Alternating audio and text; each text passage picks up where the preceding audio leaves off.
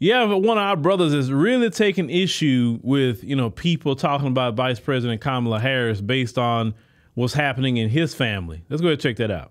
I'm watching Kamala uh, Harris uh, election campaign thing, and I just feel like let me just say this to everybody out there who who who uh, voted for Kamala Harris. I think y'all stupid as the stupid as a. She talk about the one thing they go off on is the reproductive rights. Who's in office right now? If Donald Trump changed it when he was in office, it been three years.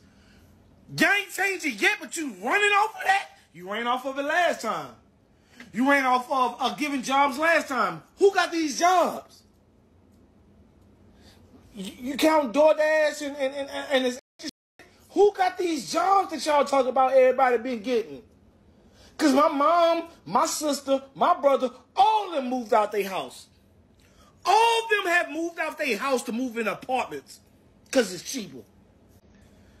So, under this administration that y'all claim y'all love and she's so good for the country, why haven't they done what they planned on doing three years ago? Why they ain't do it yet? Yet they have yet to do anything. They still coming up with these same talking points, and you stupid are still buying into the same dumb they said last time. You stupid.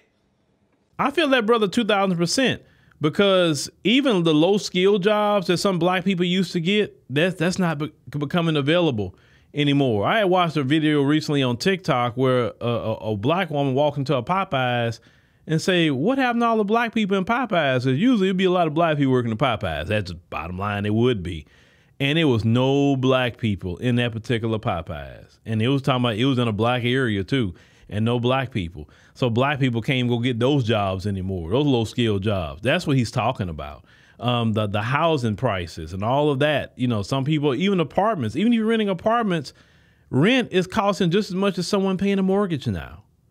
I mean, it, it's ridiculous, and you have to look at it like this: Are you better off financially today than what you were last administration before this administration came in? That's how you have to look at that. But unfortunately, uh, uh, brother, there are people in our community that is going to vote on emotion, going to vote on color, going to vote on gender, want to see the first and all that. They, they don't care about nothing else. And they're the kind of people, unfortunately, will be crying when they're in the thick of it, crying and, and, and lamenting about their particular vote. That's the sad part about our community. We are one of the most emotional people ever. I never seen a group of people as emotional as the black community. Uh, it, it amazes me that level of emotion. I tell black people the day you get free of that kind of emotion, and when I mean emotion, I'm not saying don't be human. That's not what I'm saying. What I mean by emotion is that this emotional attachment to political parties, especially the Democrat Party, the emotional attachment to symbolism, that's emotion. You have to remove all emotion from that. Why should I pick somebody just because of they my color? Why? That doesn't make sense. No, if I'm going to pick somebody, I'm going to make sure they the right person because we have picked plenty of people our color, right? And guess what we got? The super mayor, Tiffany Henyard. That's what we got. Picking somebody our color just because she a black woman and you want to see the first. Y'all tried that with Tiffany Henyard out there in Dolton, Illinois, and see what she did. Instead of picking the right person. I'm not saying a, a black woman can't be the right person, but y'all always just pick people on color and don't look at character, don't look at policies. You understand what I'm saying? And this the policies of Vice President Kamala Harris is just I can't get down with it. it you know, for me, I'm just talking about my personal. I'm talking about my me personal. Her views on the economy, her views on immigration, her views on business no. Then this promotion of unaliving our children, that's what she's promoting in our community? No. Uh-uh. No, no, no, no, no. She she she doesn't have a clue. She don't have a clue. That's why they don't let her talk. Because you start talking, you're gonna start like you know, like they say, out of the abundance of the heart, the mouth speaks. And what's gonna come out her heart, people know the Democrats know, don't let her talk. Don't you dare let her talk. Keep her quiet. And that's just really what it is. I really don't trust somebody that can't talk for themselves on top of that.